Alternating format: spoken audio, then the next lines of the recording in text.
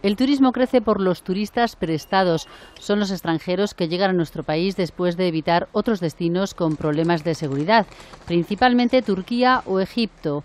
Esceltur, la patronal del sector turístico, ha destacado el aumento entre julio y septiembre por la llegada de estos viajeros. Estima en un millón y medio extra de personas. En todo el año, 3,9 millones de turistas más. Además de la crisis geopolítica, los empresarios señalan también a otros factores como el cambio de divisas o la bajada del petróleo. En el verano el aumento del PIB turístico ha sido del 4,5%. Es un resultado que Esceltur califica de excepcional y atípico.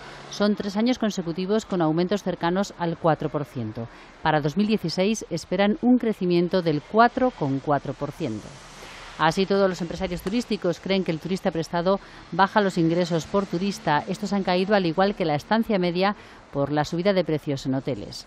Sobre la demanda española, esta se ha ralentizado en función de la oferta disponible y la oferta se ha dirigido en mayor medida al exterior. Un estudio elaborado por Exceltur revela el nulo impacto del Brexit en el turismo. También señala una saturación en destinos como Barcelona, Mallorca e Ibiza.